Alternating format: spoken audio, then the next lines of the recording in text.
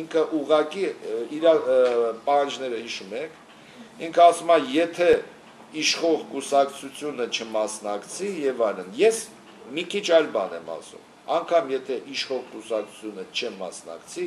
մնացած քաղաքական դաշտի խաղացողները որակի իմաստով նույնն են եւ ելի չի լինի նորմալ ընտրություն հասկանում եք այս բայց նոր դուք ասում եք որ բոլոր տեխնացումները ինտրիգով փորձում են իրենց գինը բարձրացնել այսինքն դուք հիմա Անդրեասին առանձնացնում չէ Անդրեասի Անդրեասի այդ մի մտքի մասին նայեք դուք որ Բաղրամյանով անցնում եք տեսնում եք պաստառը իրա պաստառը այդ պաստառի մասով կա մարդ որը տվյալ պաստառի վերաբերյալ դեմ լինի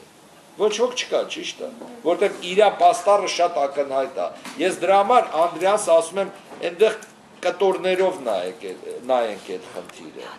Այն, որ ընդհանուր առմամբ գնում է PR, իհարկե, բայց ստեղ նաև լրացուցիչ մեսիջ կա։ Ինչ չկա ուրիշների մոտ հասկանում եք, չկա մեսիջ, բոլորը այսպես թե այնպես մտել են եւ մասնակցում են քարոզարշավին։ Հասարակական Մեսրոպյան գրկարարների լոգիկայով որ առաջնորդը Հայաստանի փոխիչներն ովքեր են լինելու, եթե հայաստանցիները Հայաստանի փլատակի լայք Շատ լավ հարց է։ Լրացնում երևի էլի, մեր երիտասարդության մեջ տեսնում եք այդ փոստը։ Միանշանակ, սկսեմ ձեր հարցի պատասխանից։ Ուրեմն երիտասարդները ես շատ եմ դասավանդում, տարբեր տեղեր։ Հա, տարբեր տեղեր։ Մեր երիտասարդության մեջ փայլուն կերպարներ կա, նրանք քիչ չեն։ Ես նրանց վրա հույս եմ տածում նրանց նկատմամբ։ Ինչ վերաբերում է ովքեր են այդ փրկիչները։ Տեսեք, ես ասեցի, չէ, եթե դուք ուզում եք քանդվող process-ից փրկվել, դուք պետքա ձեր process-ը սկսեք։ Մի քանի նման նախաձեռնություններ կան, ես կառանձնացնեի Սարդարաբադ շարժման նախաձեռնությունը նախախորհրդարանի մասով։ Այնտեղ փորձ է կատարվում այդ ստեղծել այդ ալտերնատիվ process-ը։ Հայաստանի համար դա եզակի փորձ է։ Ինչքան ես գիտեմ Սարդարաբադը ոչ խառնում ընտրությունների մեջ, ոչ մի բան։ Այսինքն իրան գնում են իրենց ճանապարհով։ Մնացածները մտել են այս բամբասկոտ ճակերտավոր ընտրությունների կամ իրականության մեջ չընտրությունների հերթական process-ի մեջ։ Պարոն Մեսրոպյան, դրսի ուժերի մասին ինչ կասեք, որովհետև ամեն ինչ չի որ մեզանով է իրականացում։ Նույնը Անդրեասի այդ անգլերեն թարգմանության պաստառներն էլ ասում է, որ մեսեջը ոչ միայն մեր հասարակությանը, այլև դրսի ուժերին ընդհանրապես ինչքանով է ազդում։ Ես ձեզ մի բան ասեմ։ Բնական է, որ ամենտեղ այդ թվում Հայաստանում դրսի ուժերը դերակատարություն ունեն, բայց դերակատարության որակը հա, դեպի վերև թե դեպի ներքև կախված է քո ներսի ներսքին համակարգի որակից։ Արթուր Մեշյանի մոտ մի հատ փայլուն խոսքեր կա. խորանը երկրից ներսից է քանդվում, այն էլ վաղուց։ Դրսի ուժերը, եթե դու ներսից պինդ ես, իրանց ազդեցության գործակիցը շատ ավելի ցածր է։ Եվ երբ մենք տեսնում ենք կամ ենթադրում ենք, որ ինչ որ դրսի ուժ այս կամ այն ձևով ինչ որ բան մեզ թվում է հաջողվեց, դրսի ուժի մասին մի պահ մոռացեք։ Մեզ մոտ են մենք ունենք խնդիրներ, որ դրսից կարողանում են լուրջ ազդել։ Իսկ եթե դեր ասած համակարգը հիմա կլուզվի 2015-ին, դա ներսից կլինի մեծ մասամբ Այ լավ հարց է, մենք պետք է ամեն ինչ անենք ներսից արվի։ Դրա համար ես բերեցի Սարդարաբադ շարժման օրինակը, որը արդեն 1-1.5 տարի սկսել է այդ process-ը եւ բոլորին հravirում է, այնպես չի։ Եթե դրսից նման բաներ լինեն, չէին ասի, ով ցանկանում է մտեք, համապատասխան միջավայր կստեղծվեր, ճիշտ է։ Մի հարց լրագիր հետո լավ նախավերջի Այ Անդրեասի Ղուկասյանի արած քայլերի մեջ կա նաև մի հատ հետաքրքիր գիծ, որը մինչ օրս երևի թե որևէ նախագահ, որևէ նախագահի տեխնացու եւ ընտրությունների շրջանում չի եղել։ Դա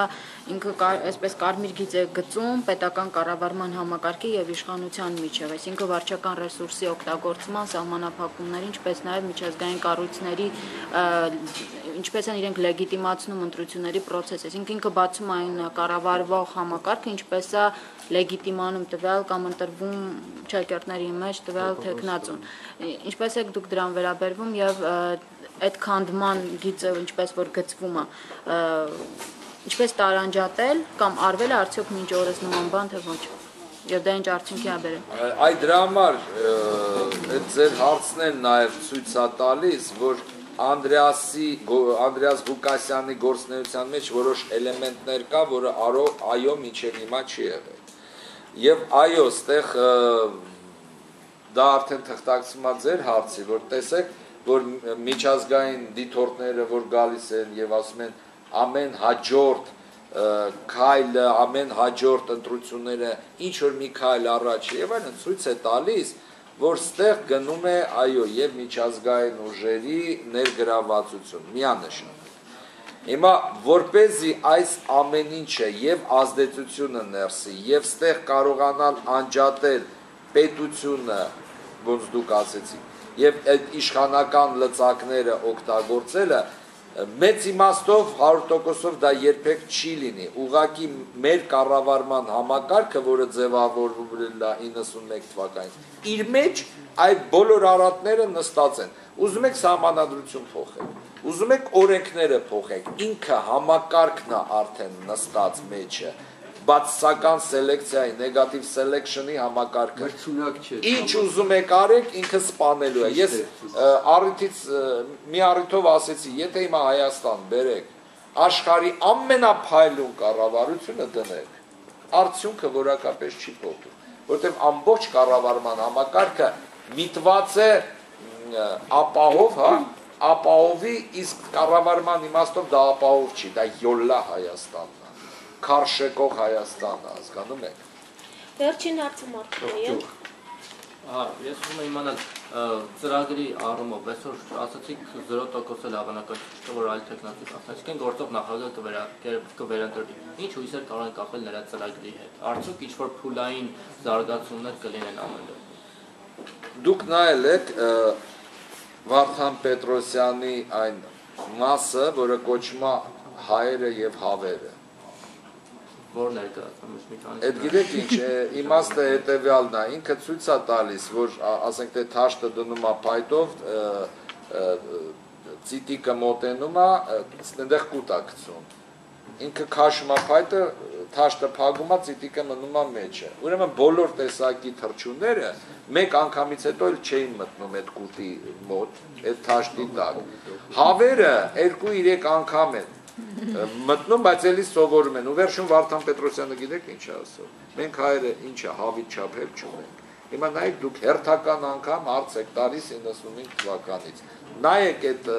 Էտյուդը կհասկանաք, որ մենք, եթե հիմա էլ ես սկսեմ այդ հարցին պատասխանել, ուրեմն մենք հավից էլ բեթար ենք։ Շնորհակալություն բոլոր շնորհակալություն